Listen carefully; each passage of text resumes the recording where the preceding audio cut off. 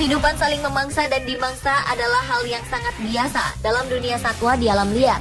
Namun bagaimana cara para predator itu memangsa? Masing-masing memiliki ceritanya sendiri yang terkadang tampak ganas dan mengerikan. Tetapi itulah kenyataan dari sebuah proses rantai makanan. Dan berikut on the spot telah merangkumnya dalam aksi memangsa hewan terekstrim.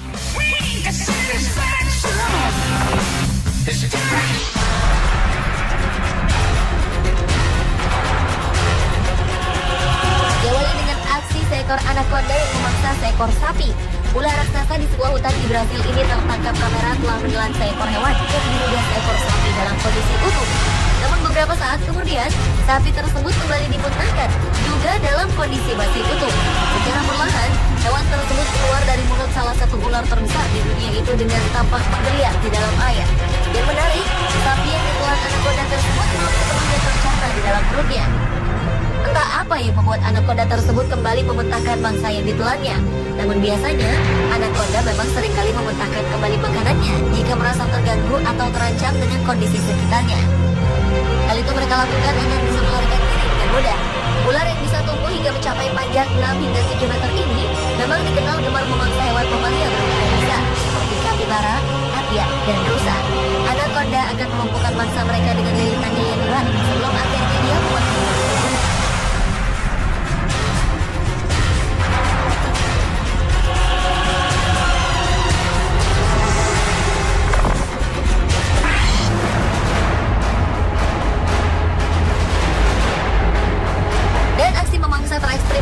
adalah hiu putih yang memangsa anjing laut.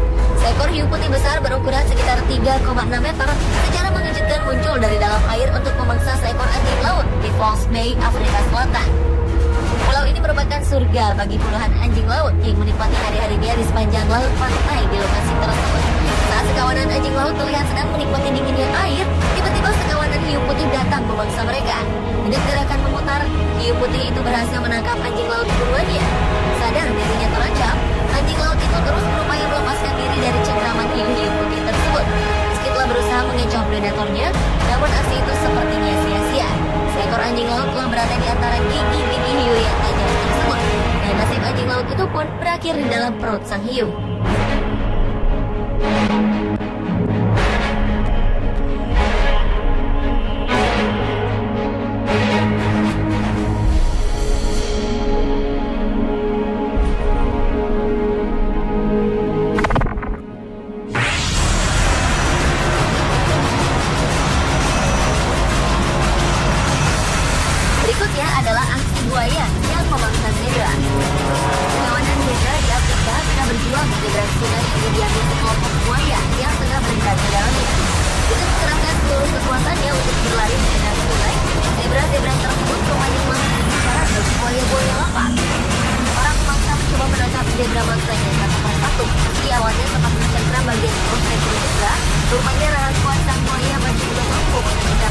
Zebra yang meronta. Itu berhasil. Buaya lainnya kembali berhasil menggigit kaki seekor zebra kecil lainnya.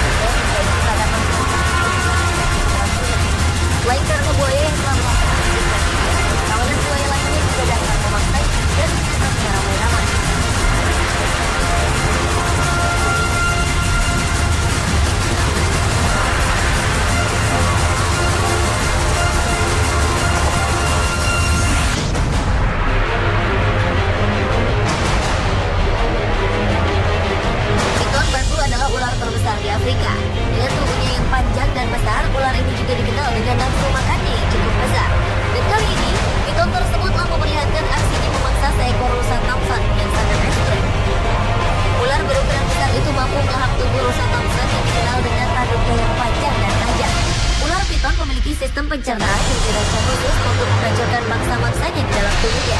Bahkan, perut ular piton ini mampu mengolah tanduk rusa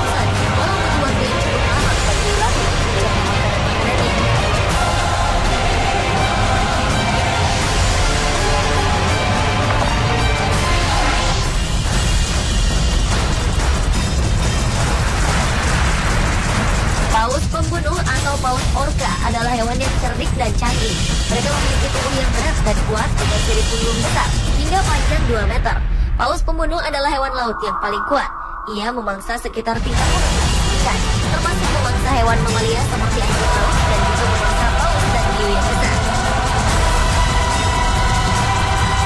Paus pembunuh akan melumpuhkan mangsanya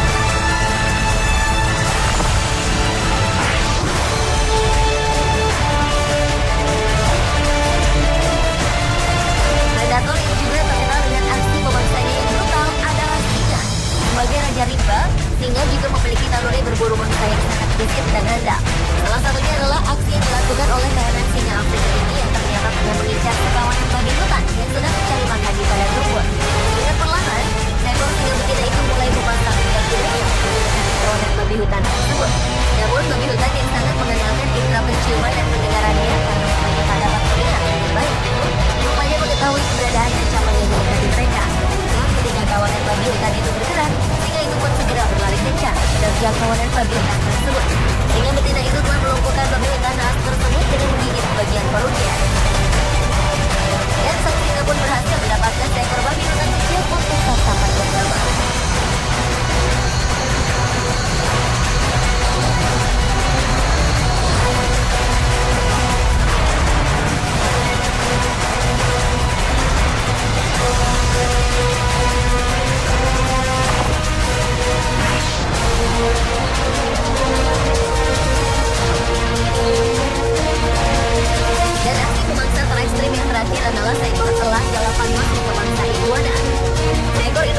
hitam terlihat tengah memantau lokasi perburuannya untuk mencarikan makanan bagi berusia beberapa minggu. Dengan ketajaman matanya berburu, rupanya elang tersebut telah menemukan sarang dari kawanan iguana. Namun rupanya keberadaan mereka yang telah diketahui elang tersebut membuat para iguana tersebut kalang kabut, sehingga mereka lantas berupaya untuk menyelamatkan diri dari cengkraman sang elang. Sayangnya, seekor iguana naas yang tengah berusaha lari sekencang mungkin, rupanya masih kalah cepat dari elang tersebut. Sehingga induk elang itu pun berhasil menangkap reptil tersebut dengan memancarkan kakinya yang kuat mengangkat seekor ular sekalipun. Namun, sebelum elang itu membawa mangsa hasil ularnya itu ke sarangnya untuk dan anak-anaknya, rupanya induk elang itu harus mengumpulkan iguana tersebut dan membangkit dan mengejarnya ke batu. Dan setelah iguana tersebut merasa tak berdaya lagi, sang elang pun langsung membawanya pulang ke sarang, di mana keluarganya telah menanti kedatangannya yang membawa santapan lezat.